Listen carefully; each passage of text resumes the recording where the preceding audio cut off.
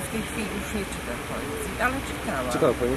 I, i głównie Pawlikowską, Jas- Jasnorzewską, y, Szymborską, Miłosza, mm, Herberta czytałam, Leśmiana, który bardzo mi o, odpowiada i rozumiałam jego wiersze. A czemu warto? No dowiaduję się takich rzeczy, których, na które sam by nie wpadł. O tak bym to nazwała. No, sam by nie wpadł. A tak podpowiadają ci poeci, jak rozumieć świat, przyrodę.